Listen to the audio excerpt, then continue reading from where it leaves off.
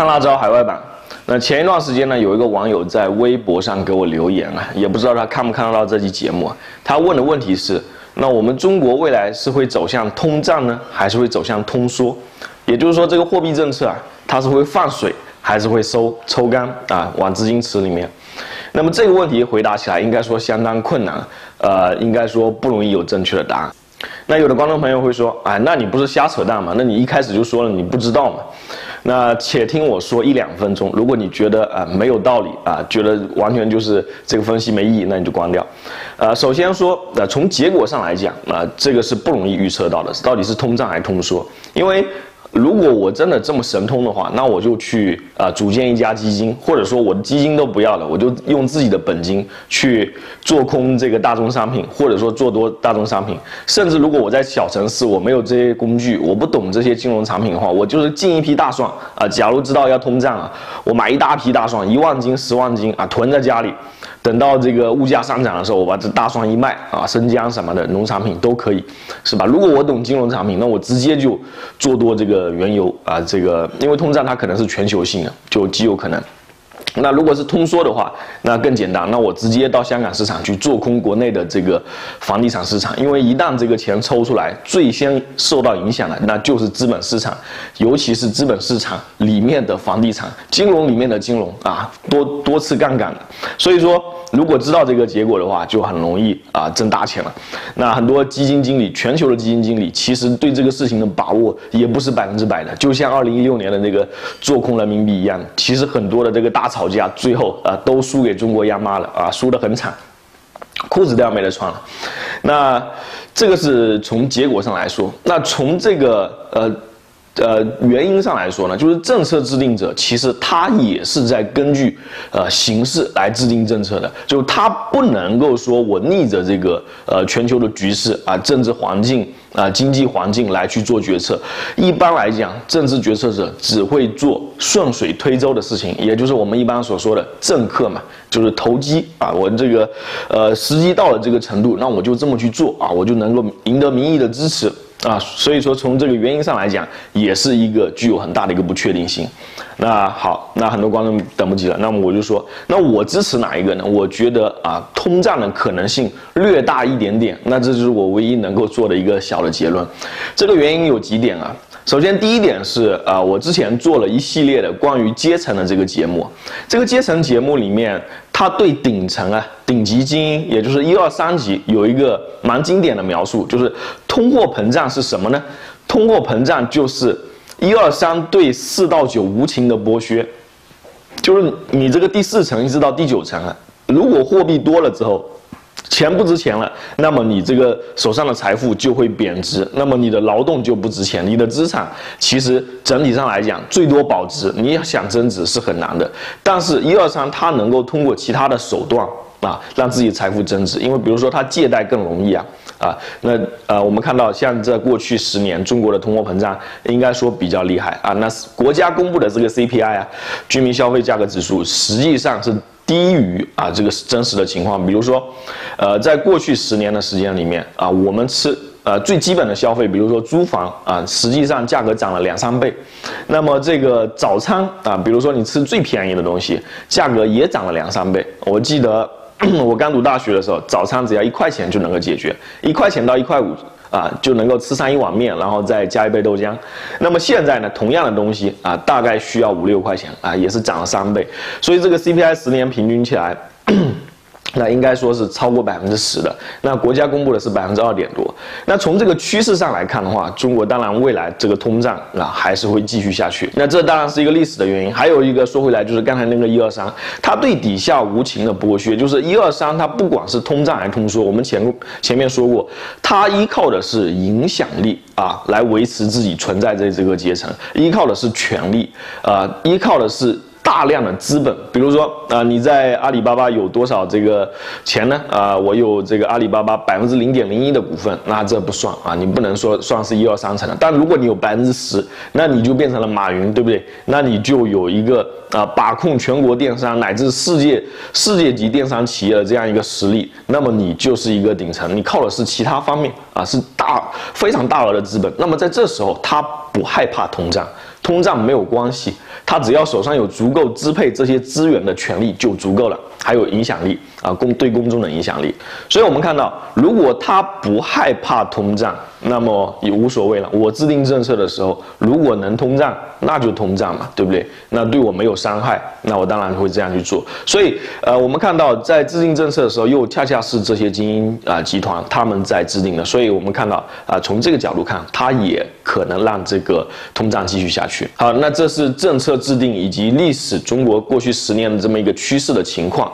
那么第三点原因就是我们现实看到啊，目前的这个呃经济现象啊，比如第一点啊，我们看到看这条新闻，呃，这个国内的房企在二零一七年啊又在继续大大规模的拿地，二零一六年也在拿，二零一五年也在拿。你说这些人是傻吗？那个地那么高啊，这个面粉比面包都够都更贵，那么他盖房子以后肯定是要亏的，那他赌的就是房价上涨。房价为什么能上涨？赌的就是大量的钱出来啊。啊，银行大量的钱出来，这样物通货膨胀起来，然后这个物价才能上涨，这个房价才能上涨，他最后才能挣到这个钱呢。啊，至少能够从这个呃银行把这个钱贷出来，能够啊在实际购买力上保值住。那么对于企业来讲，它就是成长了。所以从这个角度来看，这些企业它不见得都是傻。那么它赌的就是通货膨胀，在未来。那还有一点就是在二零一七年九月份啊，也就是两个月前，一个多月前，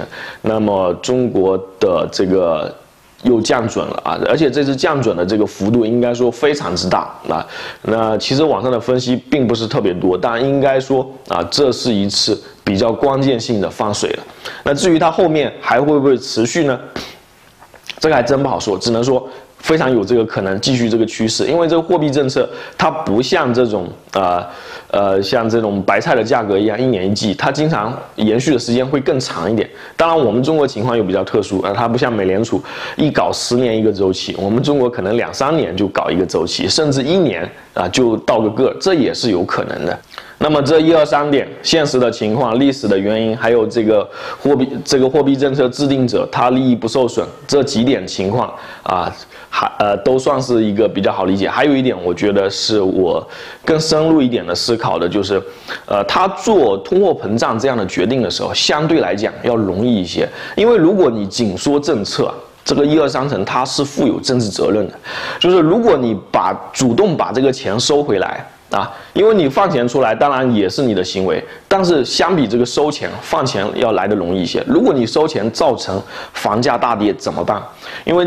中国的房地产在整个中国各行各业里面的比重非常的高，占 GDP 的比重非常高，一直在说他把中国经济绑架了。那好，如果说你突然间猛的一收啊，房价不是慢慢跌，那我相信中央期望慢慢跌，一口气跌百分之三十，那怎么办？那这个就很多人会失业，那这个责任该谁负呢？所以从这个逃避责任的这个角度来讲，也倾向于啊，就是不要去啊去收缩。那这是第四点观察。那相对通货紧缩啊，这种容易造成大规模失业、容易造成这个银行破产这样的风险的一步来说啊，那通货膨胀啊，就是放钱出来，那就相对容易了。啊，这个企业的这个利润在短时间内它是先上升的，因为这个钱一放出去，企业它能够借到很多钱嘛，那么它这个原来的这个物资。进来的时候是比较便宜的，卖出去呃转一手，因为这个生产有一个时间，有一个过程，卖出去的价格又高，于是这个企业的这个业绩也漂亮啊，这个上市公司都挣钱了，那个人家庭呢，这个资产也在增加，就是这个政府呢税收也高，就是政府也高兴啊，家庭也高兴，那么这个企业也高兴，那政府呃就是这个在最顶层推这个政策的人，当然啊他也很乐见其成，那这是他的政绩嘛，是不是？这个大家都受益，但问题是这样债。务堆积太快，而且最后这个物价上涨会反过来让最底层的这个七八九，尤其是这个中间阶层，收入不高、收入偏低的人啊，特别是劳工阶层啊，这个靠工资的人，他是利益受损是最严重的，就是在后期通货膨胀的后期。呃，但是刚才说回来了，这个通货紧缩啊，它有这个。呃，政治家魄力在这里面，小国往往做不到。就是很多我们看到像委内瑞拉呀，像这个呃，像这个非洲的一些国家呀，他们往往这些小的国家，一旦出出现这种呃，就是滥发货币的时候，他最后他收不回来，因为这些小的国家他很少真正的政治家，但是。大国啊，因为他这个国家这个众生大啊，这个人才也多嘛，或者说他面临的压力也大嘛，那么很多就容易产生这种真正的政治家，他有这个魄力，那么我就冒这个风险啊，我就不干这种呃滥发货币的事情啊，我最后就是会有人去收拾这种摊子。像我们看前两年的时候，那个俄罗斯啊，他的俄罗斯的这个总统普京啊，在国内通胀百分之一二十的情况下，他就不停的加息啊，不停的加息，那我们可见这个本来就经济就一片狼藉的，对不对？那很多的俄罗斯民众都去把家里的储备全部去买那个 LV 包了，因为前一天不如一天之前。但他就敢在这种情况下不停的收紧货币，那这就看到啊，这就是刚才跟刚才说的这个美国、日本是一样的，他们这种大的国家啊，经济体敢有这样魄力，那么我们中国也是非常有这样的可能的。就是因为我们也是一个大国，而且也有很厉害的政治家，他们在关键时候会不会往这方面走，这也是一个悬念。那还有一点就是说到我们怎么样观察到底是放水还是抽水了啊？我之前做节目反复说了，有一个很简单的办法，如果你在内地或者是你会用支付宝的话，很简单，支付宝打开来上面有个余额宝，余额宝的那个右上角有个利率，把这个利率啊。那个走势图观察清楚就可以了啊，因为它现在是我们中国乃至世界最大的货币基金，那整个资金池的情况，整个利率的情况在上面是反映的最明灵敏的，而且呢，它离我们生活也最近啊，每天都要用支付宝啊，或者是你能够最容易接触也最容易理解的一个利率了。那最后呢，啊，我再说一个反的，就是刚才一直说啊，通胀的可能性大一点，反的就是说呢。其实，对于就是就着刚才第四点拓展来讲的，就是我们中国是一个大国啊，中国大陆是一个特别庞大的一个经济体，呃，它现在是超过日本的，是世界第二。那么像这样的庞大经济体，它往往对全球都负有责任，而且它必须依照全球的趋势，特别是这个美国央行、欧洲央行、日本央行，他们几个银行的这个步调要一致，否则的话，你将面临这几个非常庞大经济体的。集体的压力啊，集体的进攻，特别是在国际上的金融市场上面，会非常的被动。那这个时候啊，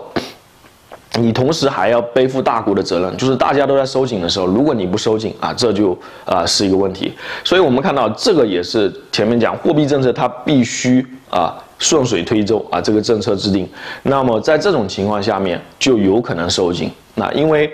日本也好，美国也好，我们都看到它收紧的时候是一点都不含糊的。那该收的时候就是收。我们看日本泡沫破裂的时候，他们就是央行主动的收货币，而且不是说一年两年哦，是连续收了好多好多年哦，让日日本的股票暴跌，跌完之后房地产市场连续跌了十几二十年。啊，就这个样子情况下，他还是咬着不放啊！我就是要你跌，你就是不值这个价钱。那我们看到美国也是这个样子，呃，在他们这个零七年的时候，那个泡沫破裂的时候啊，也是一直收，一直加息加息，加到实在不行啊，这个，呃，雷那个雷曼兄弟都已经垮掉了，那最后才呃。放水才把水又重新放出来，那其实这也造成了很多问题。他其实就不应该那么做。按照目前的这种，我觉得，呃，从贫富差距弥合的角度来说，应该就是一口，呃，一脚刹车踩到底的。但实际上，美联储已经是。不如当年的美联储，所以我们看到美国的这些年贫富差距也在扩大。我相信啊，部分原因就是美联储它放水放得太狠，刹车踩得不够。那这就是反过来说，就是我们中国作为一个大国啊，大的经济体，要负一个全球的责任，要跟全球其他经济体做一个金融市场的博弈。那么在这个角度上面，你不可能逆着国际形势走，那么最后再回来踩刹车，这也是有可能的。好的，那这就是这一期的一个整体的节目啊，整个观点是什么呢？啊，可能通胀，也可能通缩啊，可能通胀的可能性大一点点。好的，那感谢收看。